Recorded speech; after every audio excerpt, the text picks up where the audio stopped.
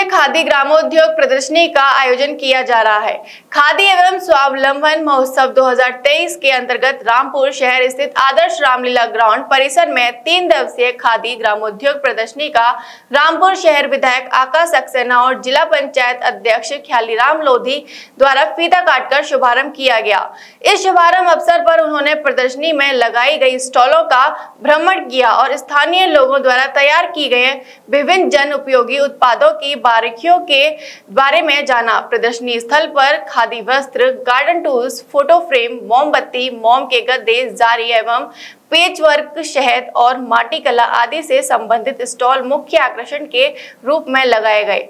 अपने संबोधन में रामपुर शहर विधायक ने कहा कि सरकार द्वारा स्थानीय उत्पादों को बढ़ावा देने के लिए विभिन्न स्तरों पर लगातार प्रभावी कदम उठाए जा रहे हैं। स्थानीय उत्पादों को अपने दैनिक जीवन शैली का हिस्सा बनाकर हम सभी को स्थानीय हुनरबंद लोगों को सशक्त बनाने के लिए सहयोगात्मक भूमिका निभानी चाहिए। स्थानीय उत्पादों को बढ़ावा देने से रोज़गार के अवसरों का सृजन होता है और स्थानीय कारीगरों को अपने हुनर के आधार पर आजीविका के लिए दूर दराज की मार्केट पर निर्भर नहीं होना पड़ता है।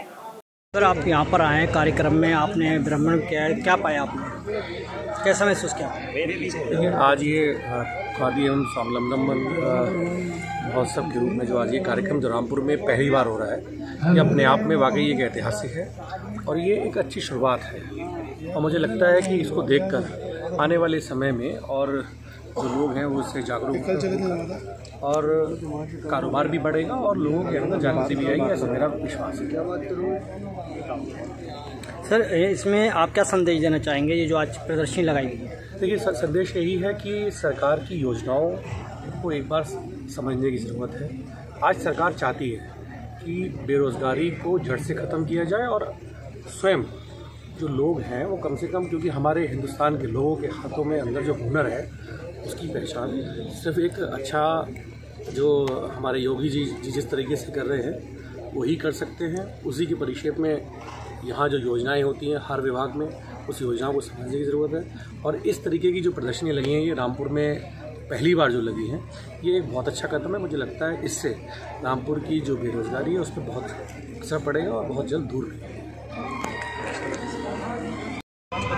नाम लाल सिंह प्रजापति है और माटी शिल्पकार उद्योग उत्पादन सहकारी समिति सीगन खेड़ा मैं मैं सभापति हूँ। आप आज किस जगह खड़े हैं? क्या हो रहा है यहाँ? क्या कार्यक्रम चल रहा है? ये जनपद रामपुर में स्थान है आदर्श रामलीला ग्राम। यहाँ पर आज़ादी का अमृत महोत्सव खादी ग्राम उद्योग के माध्यम से मनाया जा रहा है। इसमें माटी कला बोर्ड के माध्यम से जो भी लोग जुड़े हैं, उन्होंने अपनी कला दिखाने के लिए जो जो भी अपने अच्छे कार्य किए हैं, उन्होंने अपने अपने स्टाल लगाए हुए हैं। इसलिए कि इसे आगे लोग देखकर अपना स्वरोजगार चालू कर सकें। और जो भी उनकी जो खूबी हैं, माटी कला बोर्ड के अंदर, उनसे जो है अच्छी भली भांति अवगत कराया जाता है। मेरा नाम राजीव लोचन है। मैं माटी कला औद्योगिक उत्पादन सहकारी समिति का सभापति हूँ। अच्छा आप इस समय कहाँ खड़े हैं और ये इस समय जो है ये खादी ग्राम उद्योग महोत्सव मनाया जा रहा है। उसकी प्रदर्शनी आदर्श रामलीला ग्राउंड रामपुर में लगी हुई है। उसमें हमारा स्टॉल लगा हुआ है। तो ये रामपुर में ही बनती है जो ये सारे प्रोडक्ट जो भी आप कवर करेंगे ये सभी रामपुर में बन रहे हैं। जब से माटी कला बोर्ड 2018 में उत्तर प्रदेश शासन ने बनाया सरकार में आया तब से ये माटी कला औद्योगिक उत्पादन सहकारी समिति जो है एक्टिव हुई बनी रजिस्टर्ड हुई और उसके बाद जो है हमने साढ़े तीन सौ लोगों को काम में लगाया हुआ है। जो अपने परंपरागत कार्य में लगे हुए थे वो आज डेकोरेटेड आइटम्स बना रहे हैं। इससे रोज़गार भी मिला है। गोपी कृष्ण हॉस्पिटल चिकित्सा के क्षेत्र में मथुरा का अग्रणी हॉस्पिटल एवं पहला टेस्ट ट्यूब बेबी सेंटर है। आईवीएफ में 70 प्रतिशत सफलता, स्त्री रोग विभाग में high risk delivery caesarean operation hysterectomy आदि बेहद अनुभवी एवं क्वालिफाइड लेडी डॉक्टरों द्वारा किए जाते हैं। हड्डी रोग विभाग की एडवांस यूनिट जहाँ पर जोड़ प्रत्यारोपण, यानी कि घुटना रिप्लेसमेंट कूलर रिप्लेसमेंट रीढ़ की हड्डी के ऑपरेशन एवं फ्रैक्चर होने पर प्लास्टर सरिया या प्लेटिंग आदि की सर्जरी की जाती है।